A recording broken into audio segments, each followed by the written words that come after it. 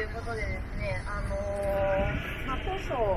まあ、一旦この敷地に決まって、あのー、まあ、木っていうものをどういうふうにこう、体験できたらいいのかなってすごい悩みまして、で、あのー、まあ、芝生で、まあ、直接地面が見えなかったりとか、あのまあ、掘ったりできなかったので、なかなかこう、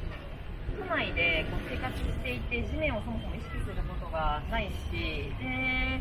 あのなんかそのすごくこう硬いものというか地面はこう自分がこう足をこう置く場所で、まあ、建物が立つ場所でっていうなんかすごくこうベースとなる硬いものっていうイメージがあるんですけれども、まあ、一方でなんかあの2011年にこう地震がすごく復活した時にすごくこう地面って実は動くもので柔らかくてで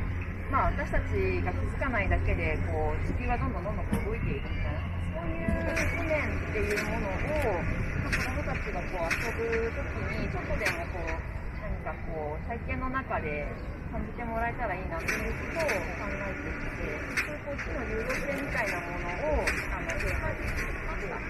でまあ、一方で遊具なのでやっぱりこう一般的にすごくあの遊べるというか、もうパッとこう入っていけて、で、子供ってなんかこう、廊下のこういう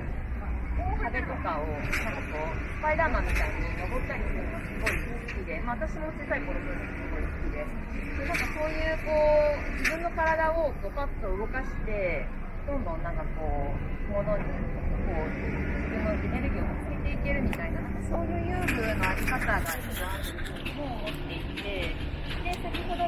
こう、まあ、動き回る、あの、まあ、流動していくうちっていうのと、その子供がこう、その中こう動き回っていくみたいなアイディアが、こう、だんだんだんだんこう、なってきたときに、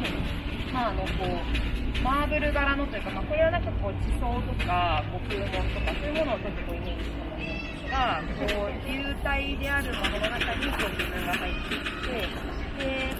表面がすごく反射する素材なんですが、こう自分とか、こう、他の子供とかが、こう、こう、遊びでこう入っていくと、そのこう影というか像がこう、どんどんどんどんこう流れていくように映っていくような、そういう素材を、あの、フィルムなんですが、使っていて、で、そういうこう、人がこう、どん。どん。入っていってこう流れていく様子とか自分がこう映っていく様子とかがこう体感でこうなん。かこう流動的に経験できるというかそういうものをあのイメージしていっています。であの一つだけ中に入れるあの、まあ、中に入れるって言わない方がいいん。ですけど一つだけ隠しなん。だちょっと秘密があってでそれをぜひ見つけてほしいなと思っていてあのちょっとここからでは見えないんですけどたまにこうちらっと見えるんですが、まあ、1個だけ中に入れる場所があってであのー、それはあんま言わない方がいい。なんかここはまたちょっと異世界になっているというかなのでなんか本当に地面のなんか不思議な感じ。あの地面って本当に行っても行っても行っても終わりがなくて何かこう自分が全然知らないものがその下の中にこう眠っているようなそういう感覚もあのそうですね体験を通してなんとなく